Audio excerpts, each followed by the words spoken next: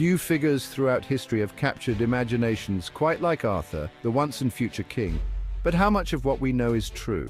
Join us as we journey back in time to uncover the man behind the myth. Get ready to uncover some unbelievable facts about this iconic figure. Was Arthur a real king or simply a figment of imagination? The historical evidence is shrouded in mist. Some historians propose that Arthur was a Romano-British leader who fought against the Saxon invaders in the 5th and 6th centuries. They point to possible mentions of Arthur in early Welsh poems and chronicles, whispers of a warrior who united his people against a common enemy. However, concrete evidence remains tantalizingly out of reach. The scarcity of tangible proof has led some scholars to believe that Arthur is primarily a literary creation, a symbol of hope and courage born from a tumultuous era. Whether he walked among us or not, his story continues to captivate and inspire. The image of a young Arthur, effortlessly drawing a magical sword from a stone is one of the most iconic in Western literature. The sword, often named in later tales as Excalibur, represented far more than a mere weapon. It was a divine symbol of kingship, bestowed upon Arthur by forces beyond the realm of men. Only the rightful king, chosen by destiny, could possess such a blade. Arthur's ability to draw the sword proved his worthiness to rule, not through lineage or conquest, but through some higher mystical power. This tale has resonated through the ages, reminding us that true leadership is not simply inherited, but earned. Arthur's court at Camelot was not merely a gathering of warriors, but a fellowship bound by a shared code of honor. Central to this brotherhood was the Round Table, a symbol of equality and unity. Unlike traditional tables of the time, which often implied a hierarchy of importance, the Round Table's circular design ensured that all knights were seated as equals. Gathered around this symbolic table were legendary figures like Lancelot, Gawain and Percival, each renowned for their chivalry and prowess in battle. The Knights of the Round Table were more than warriors. They were exemplars of virtue, striving to embody the highest ideals of knighthood. Their stories continue to inspire us to act with courage, integrity and compassion in our own lives. No figure looms larger in Arthurian legend than Merlin, the enigmatic wizard who served as both mentor and protector to the young king. A master of magic and prophecy, Merlin possessed wisdom that transcended human understanding. It was Merlin who orchestrated Arthur's birth, arranged for his upbringing in secret, and guided him to claim his rightful place on the throne. His counsel was invaluable to Arthur, helping him to navigate the treacherous waters of power and responsibility. Merlin's magic was a force of nature, capable of conjuring storms, transforming men into animals, and peering into the mists of time to foresee the future. He represented the mystical heart of Arthurian legend, a world where anything was possible. Camelot, Arthur's fabled kingdom, has come to symbolize a golden age of peace and prosperity. More than just a castle, it represented an ideal, a place where justice prevailed and the arts and culture flourished. Within Camelot's walls, knights trained in the art of combat, musicians filled the halls with beautiful melodies, and storytellers captivated the court with tales of bravery and adventure. The splendor of Camelot was not limited to its physical beauty, it also reflected the character of its inhabitants who strove to live by Arthur's code of chivalry and honor.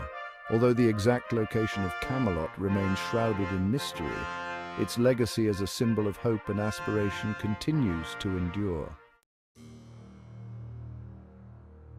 The quest for the Holy Grail is one of the most enduring motifs in Arthurian literature, symbolizing the pursuit of spiritual enlightenment and divine grace. The Grail itself, often depicted as a cup or chalice, was said to possess miraculous powers. For Arthur's knights, the Grail represented the pinnacle of chivalry. It was a test of their faith, their purity and their commitment to a higher purpose. The journey to find the Grail was fraught with peril, both physical and spiritual. Knights faced treacherous landscapes, battled mythical creatures, and confronted their own inner demons in their relentless pursuit of the sacred relic. The quest for the Holy Grail transcended the realm of a mere treasure hunt, becoming a metaphor for the human search for meaning and purpose. Excalibur, the magical sword gifted to Arthur by the Lady of the Lake, stands as a symbol of his divine right to rule, More than just a weapon, it possessed extraordinary power, capable of vanquishing any foe. The gleaming blade, said to be forged in the other-worldly realm of Avalon, was imbued with enchantment. It granted Arthur strength in battle, protected him from harm and served as a visible reminder of his destiny. Unlike the sword in the stone, which represented Arthur's right to rule, Excalibur embodied the power and responsibility that came with kingship. The legend of Excalibur reminds us that true power must be wielded with wisdom and restraint. The Battle of Camlann casts a long shadow over Arthurian legend, marking the tragic downfall of a noble king and the end of a golden era. Mordred, Arthur's illegitimate son, fueled by a lust for power, ignited the flames of rebellion. He rallied those who resented Arthur's rule, exploiting the cracks that had formed in the once unbreakable fellowship of the Round Table. The clash between Arthur and Mordred on the blood-soaked fields of Camlann was a battle for the very soul of Britain. Though Arthur ultimately triumphed over Mordred, striking down his treacherous son, the victory came at a devastating cost. Mortally wounded, the king was carried to the mystical island of Avalon, his fate forever shrouded in mystery. The love triangle between Arthur, Guinevere and Lancelot stands as one of the most enduring and tragic tales of love and loss. Guinevere, Arthur's queen, was renowned for her beauty, intelligence and compassion. Lancelot, the bravest of Arthur's knights, was bound to his king by an oath of loyalty, Yet, an undeniable passion ignited between him and Guinevere, a love that would have devastating consequences for all involved. The betrayal of trust cut deep, especially for Arthur, who loved both his wife and his closest friend dearly. The story of Guinevere and Lancelot serves as a cautionary tale about the destructive power of forbidden love and the complexities of human relationships. Though Arthur met his end at the Battle of Camlann, his story did not end there. Legend tells us that he did not die, but was taken to the mystical island of Avalon, his wounds healed by magical forces. The belief persists that Arthur will one day return to Britain in its hour of greatest need.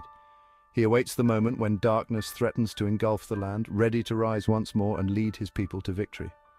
The prophecy of Arthur's return has served as a beacon of hope for centuries, a testament to the enduring power of his legend. His true legacy lies in the ideals he embodied, courage, honour, justice and compassion.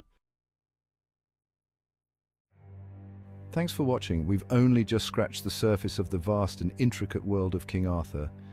His story, passed down through generations, continues to fascinate and inspire us. If you enjoyed learning about King Arthur, don't forget to like, comment and subscribe for more fascinating historical facts. See you next time.